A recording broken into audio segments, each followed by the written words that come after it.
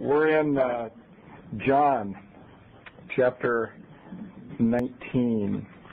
We have spent uh, several weeks going through the trials of our Lord, the Jewish portion of the trial in three phases and the Roman portion of the trial in three phases. Uh, it is um, perhaps, and in fact not even perhaps, it is the greatest injustice ever perpetrated in the history of man leading to the greatest crime ever committed by man. there is no legitimate charge against him. There's been no crime committed. And during the Roman uh, section of the trial, at every phase, he's determined to be innocent. And yet, uh, he is about to be delivered over uh, to his um, execution. We spent some time talking about this man Pilate and the effort that he has made to try to rid himself of this problem of Jesus. He does not fully understand what the Jewish leaders are doing, but he knows he's being manipulated. He knows the man is innocent, and he cannot um, figure out a way to escape because he is, in a sense, under their control. They know that he only holds his office if he maintains peace and order in the region. He knows he has to maintain peace and order in the region in order to keep his job. And the Jewish leaders know that they can stir up a rebellion at almost any time. So given that, they have him literally under uh, their thumb. And the pressure of keeping his job is going to bring Pilate to the point of handing over Christ uh, to be crucified. But I want to take you to uh, one other section before we get to the crucifixion itself. In Matthew chapter 27, Matthew recording these last few words of Pilate. Matthew 27, and verse uh, uh, 22.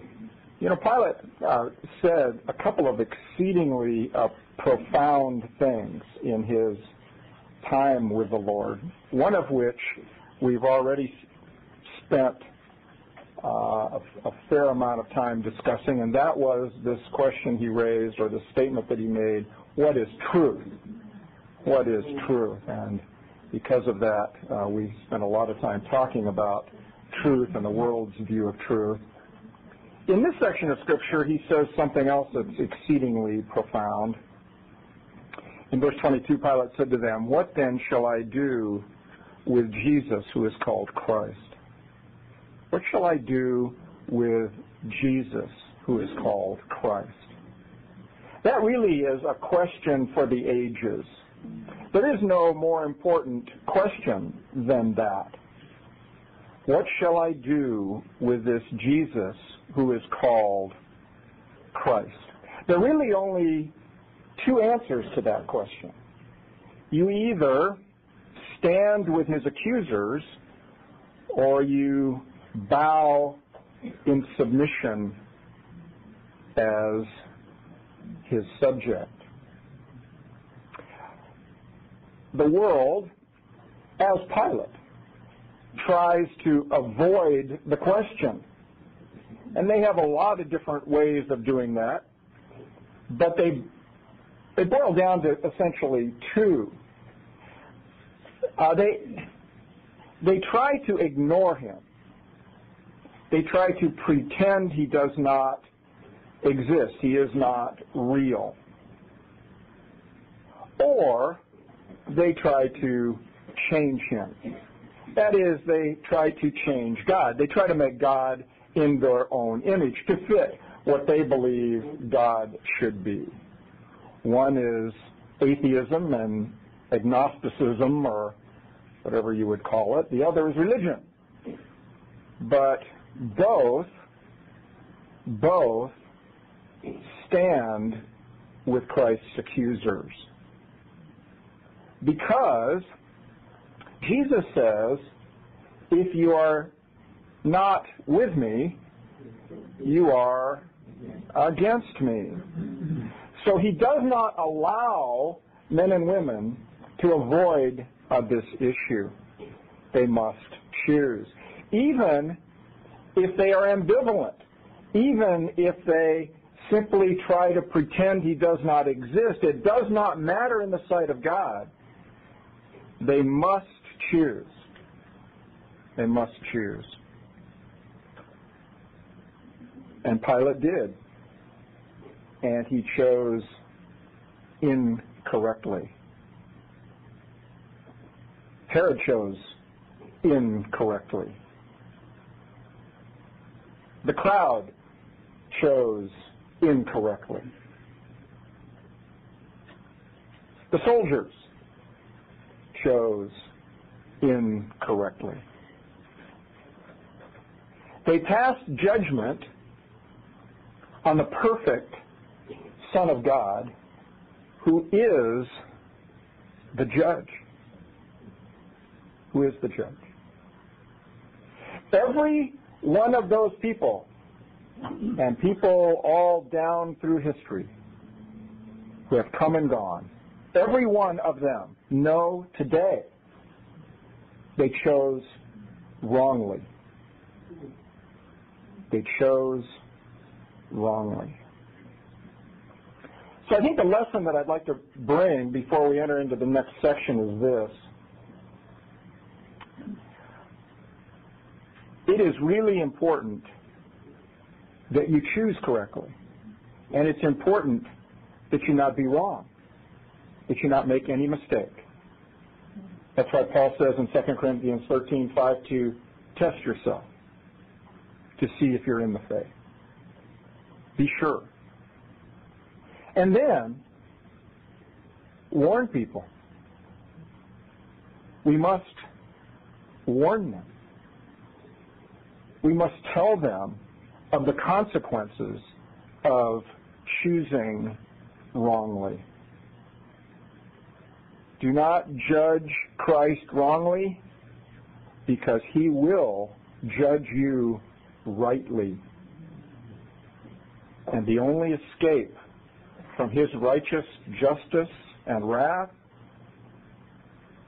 is the payment that he made on the cross that we're about to look at. Unless you accept that work and you accept him, you will stand before him in judgment. What shall I do with Jesus called the Christ? Bow, submit, believe, receive, adore, worship, follow. The cry of the crowd. Let him be crucified. Let him be crucified. It's not surprising because they really represent mankind. You know, mankind um, hates God. Now, if you went around and took a survey, they would never admit that they hated God. That is not what they would say. But they do because Jesus said, they hate me, and therefore they will hate you. And why do they hate God? Well, because He's God, and because He's holy, and because man wants to be God, just as Satan does. And man is under the sway of Satan and under the control of his sin, and so he is a rebel. He does not want anyone to tell him what to do. He does not want to bow. And when presented with Christ, God in human flesh, he does what all men would do and what they would do today. He kills them. He kills them because man loves his sin and God is holy and just. So, we are about to witness in this section one of the greatest tragedies in human history, the greatest crime ever perpetrated. Man executes God. Now, God never goes out of existence. I want to theologically get you confused here, but the man Jesus is about uh, to be killed, uh, crucified. And yet, while we are to witness this crime, this ultimate evil, this manifestation of the depravity of man to its extreme, we at the same time witness the goodness of God. For God takes this evil event and turns it into that which is the greatest good. It is an event that will bring ultimate glory to himself, and it is an event that will make a way for sinners like you and I to be forgiven and to be ushered into the presence of God. It's always been the plan. It's always been the plan. God has had this plan from eternity past. And He reveals it throughout His Scripture, throughout the Old Testament. He reveals it in prophecies, and we've talked about these before, prophecies that are either verbally predictive, that are, that are specifically words in the Old Testament that describe these events, this person, what's going to happen, or they are typically predictive, that they are pictures of this event and the things that are going uh, to happen. But there are hundreds and hundreds of prophecies because God wants us to know. He wants us to be absolutely sure of this, that this is His plan. It is for His glory. It is for your salvation who come, and He is in control. He is sovereign. And no evil of man will stop his amazing redemptive plan. It started in Genesis 3:15. Remember? Genesis 3:15, the seed of the woman. Yeah, right at the curse. There was going to be one who would come. Satan would bruise his heel, but he would his bruise his head or destroy him. It was a illusion. It was a veiled prophecy of the coming Messiah to bring victory over Satan and of sin. He would be the seed of the woman. He would be the virgin born one. In Isaiah 53, go with me for a minute to Isaiah 53.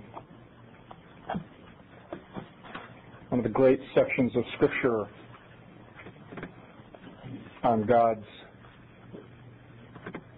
plan of redemption and his Messiah who would come. Isaiah 53 and verse 10 it says, And it pleased the Lord to bruise him. He has put him to grief when you made his soul an offering for sin. Isaiah said there's one who's coming. There's one who's coming will be for the purpose of paying, atoning for sin. And it will be God who brings him to this place. Because Isaiah 53, 7 said he was oppressed and he was afflicted, yet he opened not his mouth. He was led as a lamb to the slaughter, and as a sheep before his shearers he is the Lamb of God. He is the sacrificial Lamb. He is the perfect one, the one whose death can atone for our sins. The prophecies are numerous and detailed, and we're not going to spend a lot of time on them. However, as we begin to read this section of Scripture, we will see those prophecies over and over again because once again, God wants us to know that Jesus is not a victim. He is not a victim. This is the plan of God, and it's all happening just as he ordained. So with that, let's go to John 19.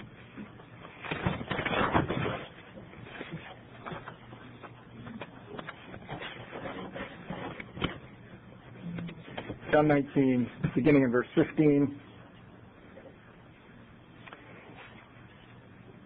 And they cried out, Away with him, away with him, crucify him. Pilate said to them, Shall I crucify your king? And the chief priests answered, We have no king but Caesar. And so he delivered him to them to be crucified. So they took Jesus and they led him away. And he, bearing his cross, went out to the place called Golgotha, the place of the skull, where they crucified him and two others with him, one on either side, and Jesus in the center. Now Pilate wrote a title and put it on the cross, and the writing was, Jesus of Nazareth, the King of the Jews. Then many of the Jews read this title, for the place where Jesus was crucified was near the city, and it was written in Hebrew and Greek and Latin.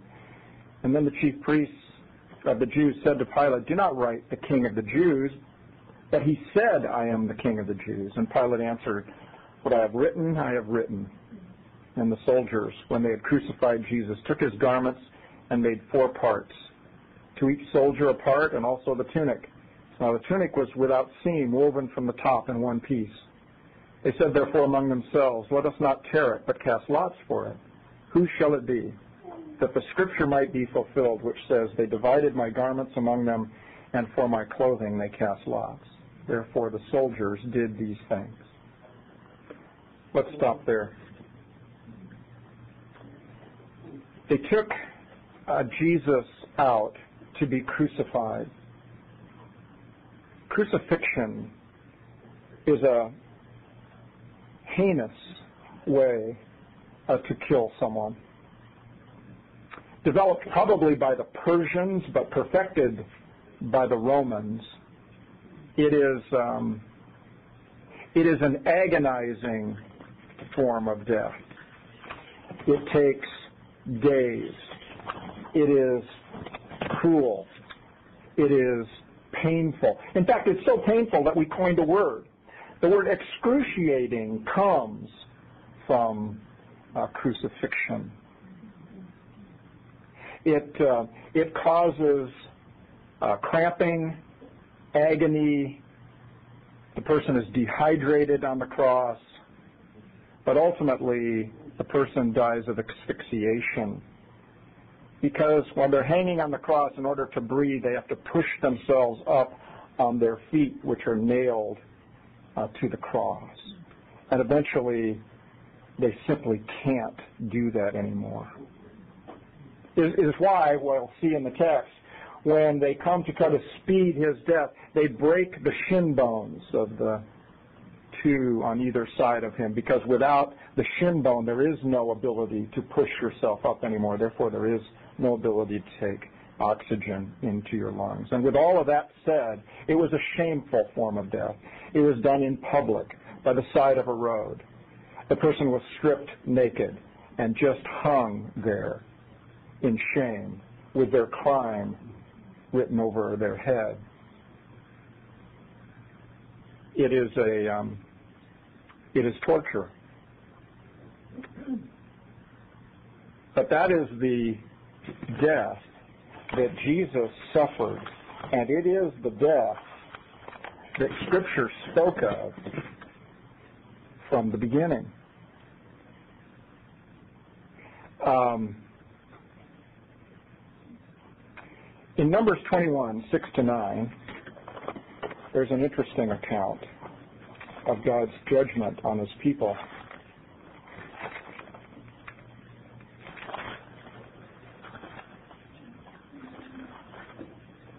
You'll remember this account. 21, 6 to 9. Well, let's start in 5. And the people spoke against God and said, Moses, why have you brought us up out of Egypt to die in the wilderness? For there is no food and nor water, and our soul loathes this worthless bread. Manna. So the Lord sent fiery serpents among the people, and they bit the people, and many of the people of Israel died.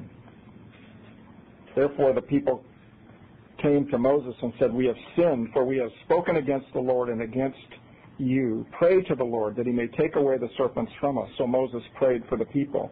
And then Moses, and excuse me, then the Lord said to Moses, Make a fiery serpent and set it on a pole, and it shall be that everyone who is bitten when he looks at it shall die.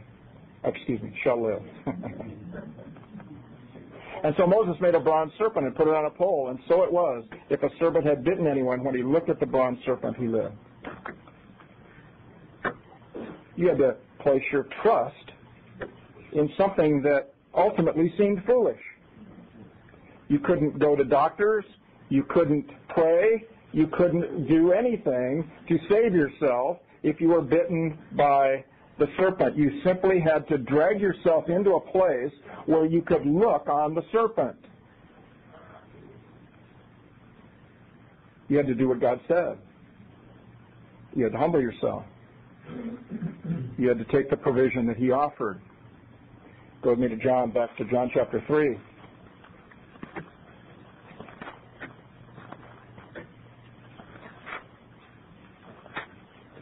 John chapter 3, verse 14 and 15.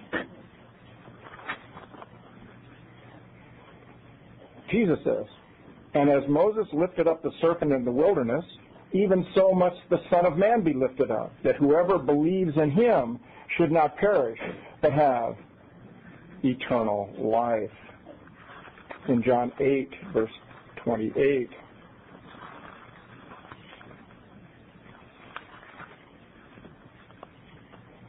And Jesus said to them, When you lift up the Son of Man, then you will know that I am He, and that I do nothing of myself, but as my Father taught me, I speak these things. And in 1232,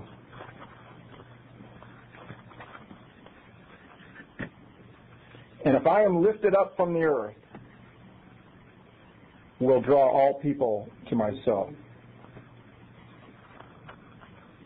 A crucifixion was pictured at the time the children were wandering in the wilderness, and crucifixion was promised by Jesus over and over because that serpent was a picture of the crucified Christ. And just as they were helpless to solve their issue of the poison that was in them, except by gazing on that serpent, we too, as sinners, are helpless to deal with the poison of our sinful natures apart from our gazing on, accepting, looking on this one who is lifted up and bowing to him.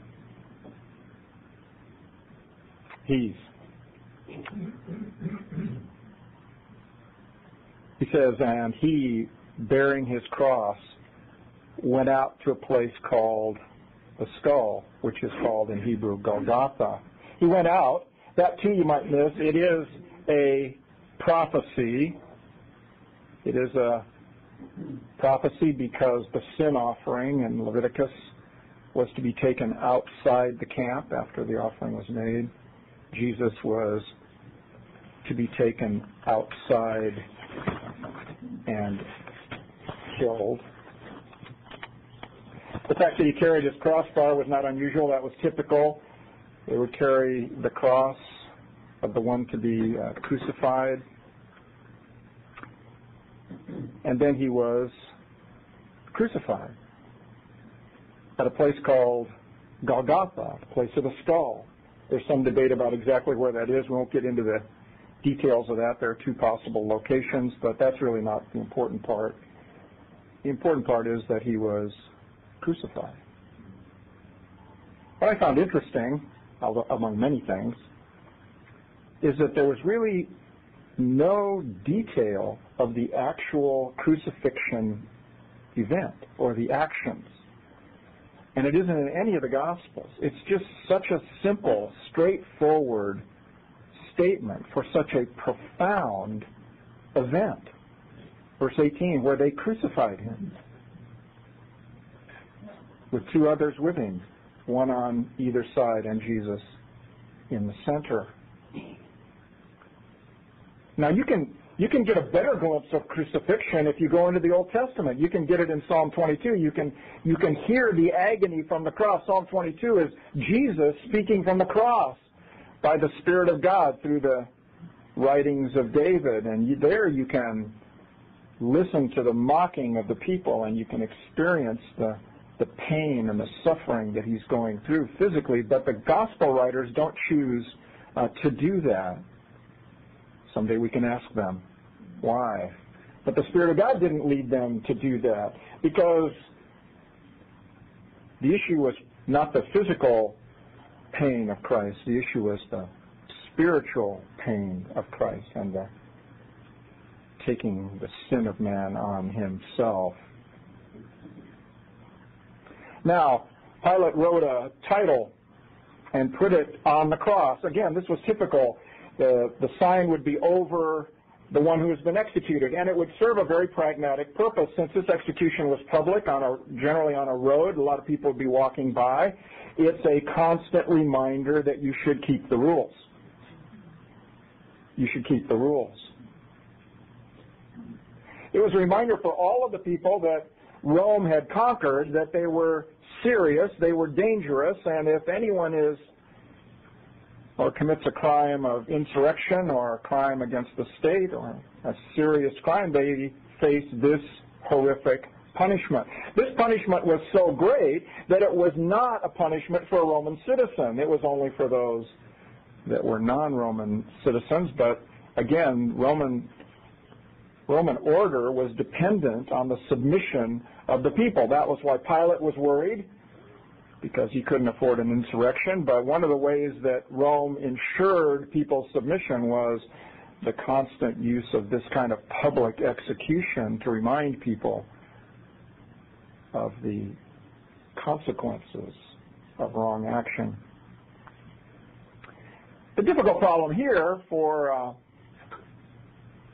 for Pilate, although it wasn't a difficult problem, he decided to use this as a final little jab against the Jewish leaders. But uh, Jesus was not convicted of any crime, and Pilate knew that. So there was no crime to put over his head. So he simply wrote um, who he was. If you take all of the different accounts, it would the, to- the total of all of them that would lead you to uh, Jesus of Nazareth, the King of the Jews, written in Hebrew and Latin and Greek so that everyone would understand. Isn't that ironic? Isn't that ironic? Because that's the truth. That is the truth. Now, Pilate doesn't understand it or believe it. He wrote that because he's trying to get at the Jewish leaders. This is kind of an in-your-face thing for him to do. Here is your king, this pitiful one. He's your king. That's why he's hanging on this cross. It's what you deserve. And you know they get the message because that's their response in verse 21. So don't write that. Write that he said he was the king of the Jews. Right? Pilate says, now what I've written, I have written. And then the soldiers, when they had crucified Jesus, took his garments and made four parts. To each soldier a part, and also the tunic. Now the tunic was without seam and woven at the top. So, yeah, he, you know, there were four pieces of clothing. He had a uh, something he wore on his head. He had a um, a belt. He had sandals. He had an outer garment, and then he had an inner garment. The inner garment was the one that was woven without seam. Four soldiers, five pieces of clothing. Seems simple enough. So how is it that that is exactly what Psalm 22:18 says? How is that? Well, let's go there. It's, it's just, um, well, actually, we can just read it out of verse 24.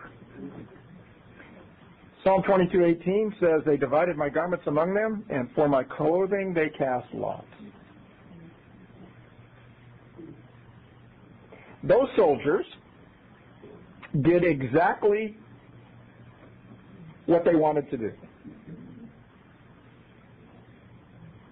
They had no concept of prophecy. They had no idea why this man was executed. They were just Roman soldiers doing their job, killing this guy.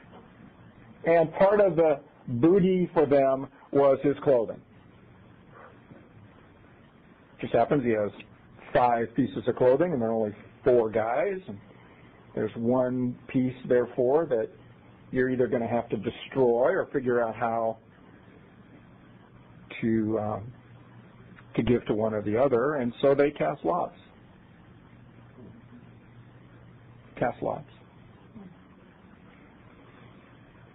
You um, you, you must, as you read this through this account, uh, uh, learn um, many things. But one of the things you must know is this is the truth. you, you cannot make this up. And that's the essence of what God is saying in these prophecies. These are not things that Jesus could plan out and make happen. These are things that were written hundreds and in some cases thousand years before this event. And the specificity of it, the detail of it, overwhelming. Overwhelming. Because God writes history and God brings it about. He says it and he is faithful to do it. And he uses the evil of men, the evil of women, and he brings it about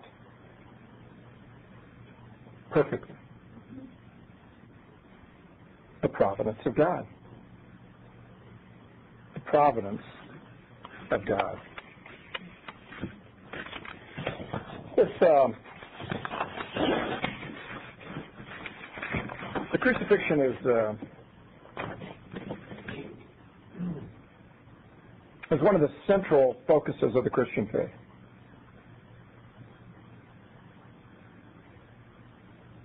It, uh, I was telling Barbara when I, when, when I was trying to think and get my thoughts together for today, it, it's way beyond me. And it's way beyond our one hour uh, time in this class.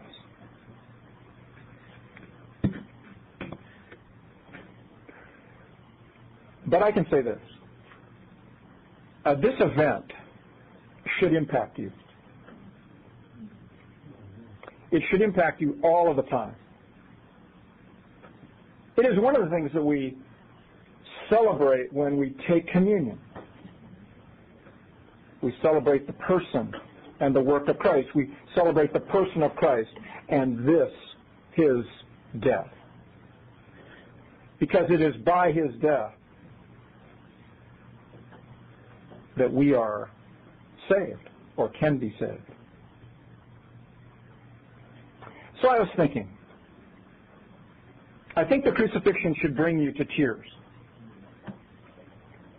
I think you should weep over the reality of it, over the agony and humiliation that it cost our Savior, and over the, the truth that you caused it, and I caused it.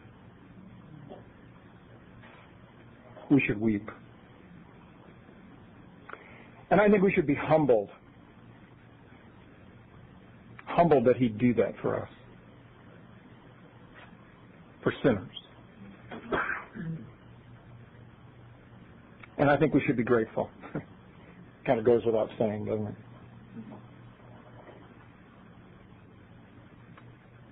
We should have been on that cross.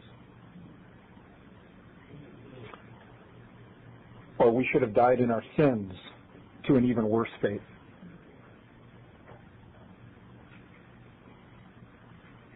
But he went there for us we should be thankful. And we should rejoice. We should rejoice because he did it. He accomplished it. He was victorious. He paid for sin. He defeated Satan. He defeated death. He set us free. And because of him and the cross, we have hope. The hope of heaven, the hope of eternity, the hope of eternal life. Because we could be reconciled to God.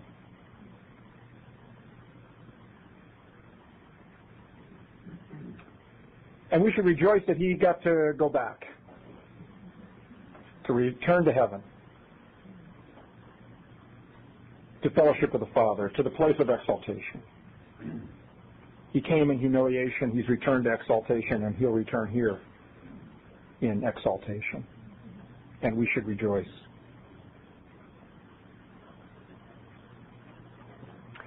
And through all of that, as you reflect, I think you should be and I should be in awe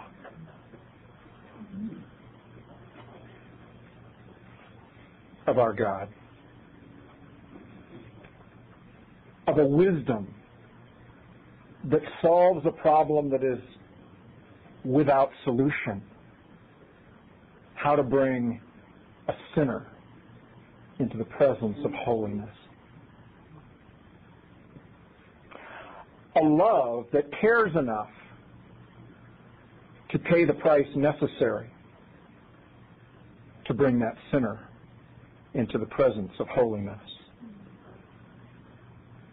A grace and a mercy that would grant it to that sinner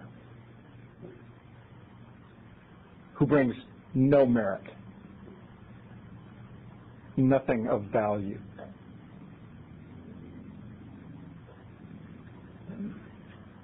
The crucifixion, well, it only has one verse here.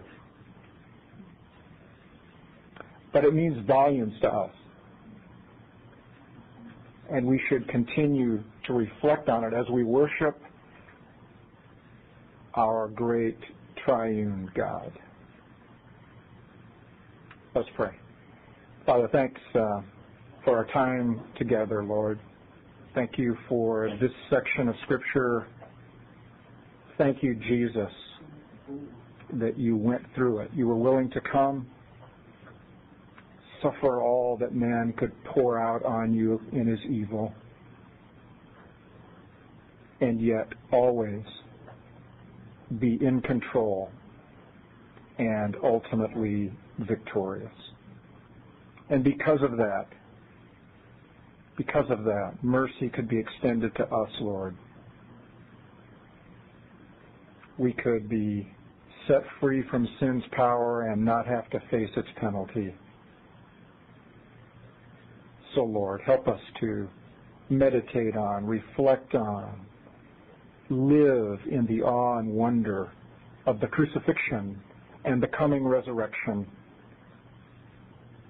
in everything that we say and do and